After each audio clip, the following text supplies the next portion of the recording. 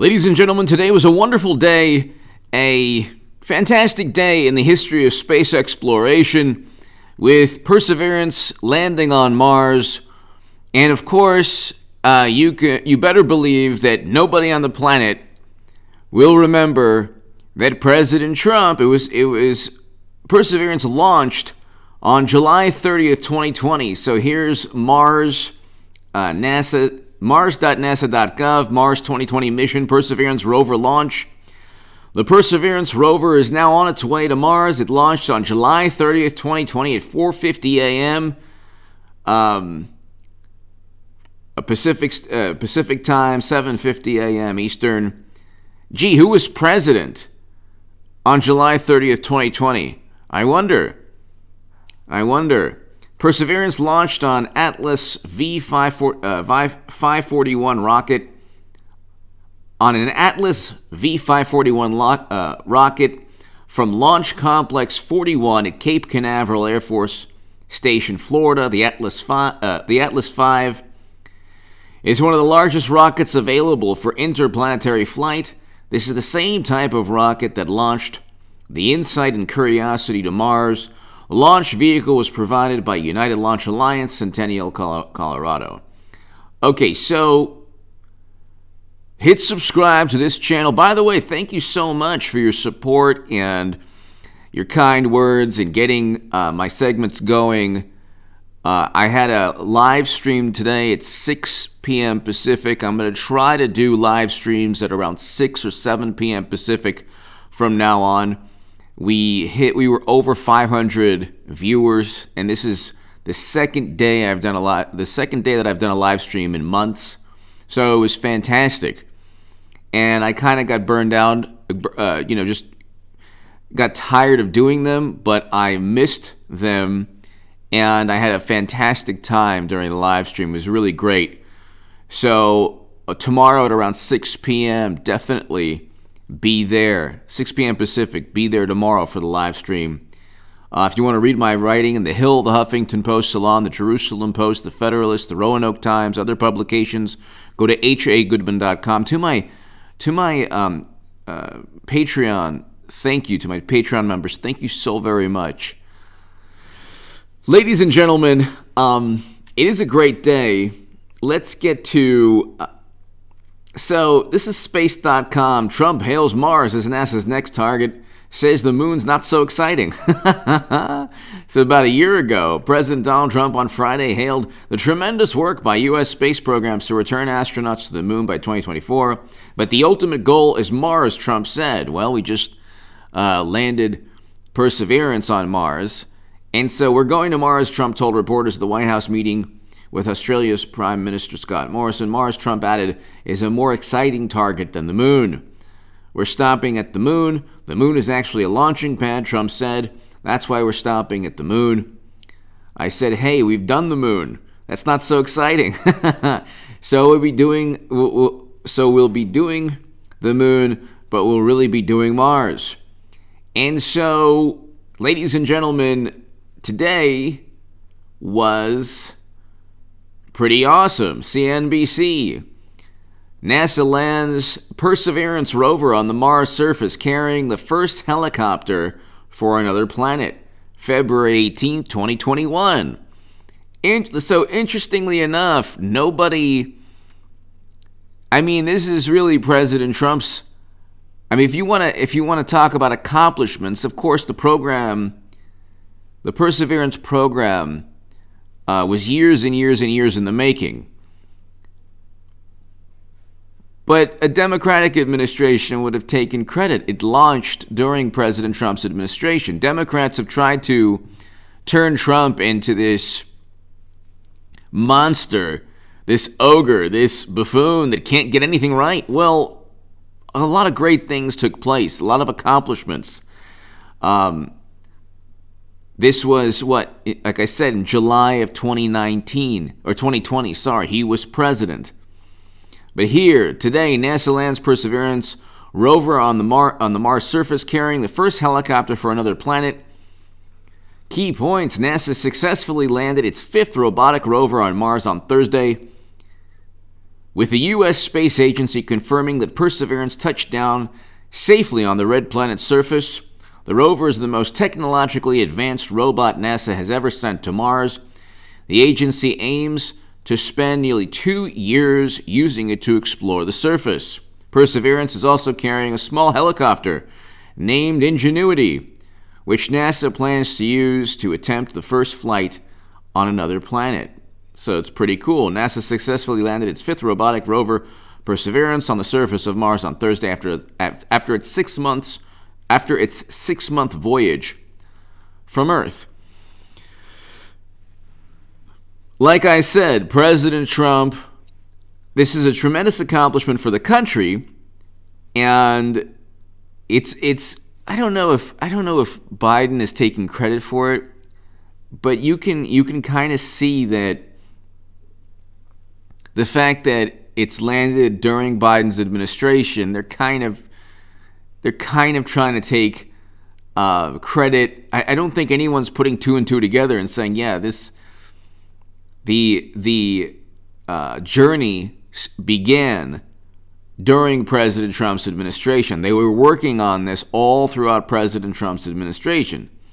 Okay, um, and he talked about going to Mars again eventually based on its predecessor Curiosity, which which reached March a retreat with which reached Mars in August 2012 and is still in operation. The Perseverance rover was built by NASA's JPL in California. Um, so, ladies and gentlemen, it's a great, it's it's it's history in the making. It's a great thing. I want to read you this though. In 2017 uh, NASA.gov new space policy directive calls for human expansion across solar system.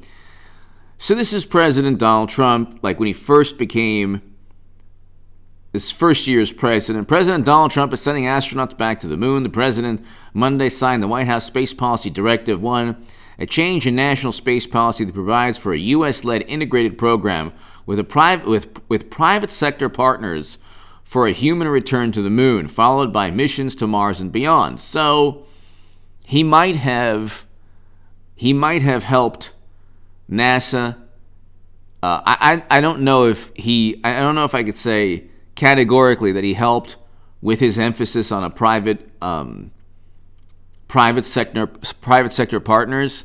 If you have knowledge on the space program and you think that did help, you know, give me your thoughts below in the comments section. The policy calls for the NASA administrator, NASA administrator to lead an innovative and uh, sustainable program of exploration with commercial and international partners to enable human expansion across the solar system and bring back to Earth new knowledge and opportunities. The effort will more effectively organize government, private industry, and international efforts towards returning humans on the on the moon and will lay the foundation that will eventually enable human exploration of Mars. Quote, the directive I am signing today will, will, ref, will refocus America's space program on human exploration and discovery. It, it marks the first step in returning American astronauts to the moon for the first time since 1972 the long-term exploration for long-term exploration and use. This time we will not only uh, plant our flag and leave our footprints, we will establish a foundation for an eventual mission to Mars and perhaps someday to many worlds beyond. And quote, under President Trump's Donald uh, President Trump's leadership, America will lead uh, in space once again on all fronts, said Vice President Pence. Uh, as the president has said, space is the next gen- next next great American frontier, and it is our duty and our destiny to settle that frontier with American leadership, courage, and values. The signing of this new directive is yet another promise kept by President Trump. So it's pretty it's pretty cool, pretty awesome. Um, I think that like I said, it it's another example of an accomplishment in President Trump's administration. Landed during Biden's administration, but it was launched during Trump's administration. This gets to another issue that this gets to an obstacle that I'm very like I don't want to say passionate about, but passionate about overcoming. President Trump should focus in the next four years. Hopefully, he runs again in 2024. And in 2022, the House will be Republican. Hopefully, the Senate will be Republican also. But it'll be Trump Republican. It'll be a populist political party that is against regime change and interventions and military quagmires and the Bush, Cheney, and Rumsfeld Lincoln Project absolute catastrophe that we see going on right now. But how many people know that Perseverance was launched during President Trump's administration? Okay, not many. I don't think I don't think people are even putting two and two together. And if they do, they say, "Well, you know what? No, it was he had nothing to do with it. NASA it would have, launched during any administration. Yeah, but Trump was supposed to be the worst president of all time. Everything he touched was supposed to be, oh my God, my God, horrendous. And he did begin Space Force and uh, set, set a new space policy directive calling for human expansion across the solar system. So in terms of in terms of space and NASA, or at least space exploration, I should say, uh, Trump was he he accomplished a great deal, or he accomplished more than most other presidents. Or I should say, I shouldn't say that. He it was one of his accomplishments.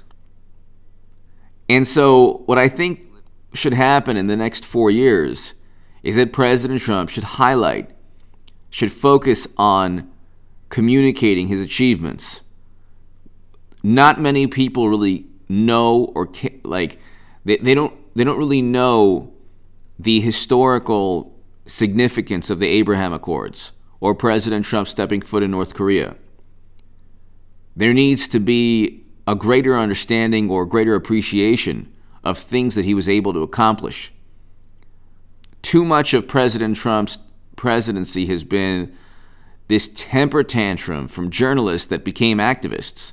Without journalists that literally just became, in many cases, you know, extensions of the Democratic Party, or without Twitter being pretty much dominated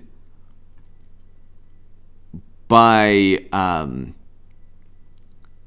by a bias towards Democrats without Hollywood and MSNBC and CNN, the New York Times, the Washington Post obsessing like these you had people and Lincoln Project that got 90 million dollars simply for spewing contempt against Trump. You had these people every single second of every day le- leveling this temper tantrum at President Trump. Like nothing he did, and and in, in some ways he fed, he gave them exactly what they wanted with the tweets.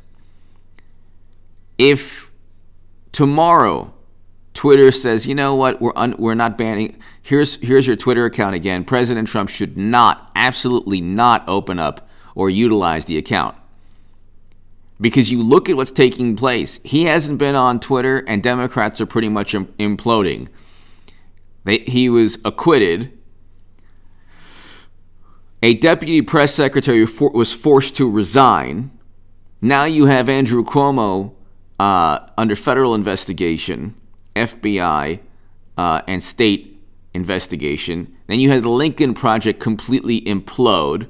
And the best thing President Trump should do should ju- is just kind of remove himself not not in terms of political influence because he's already taken over the GOP, but remove himself from the public relations madness. You know, Twitter was good for him to be to get into the White House.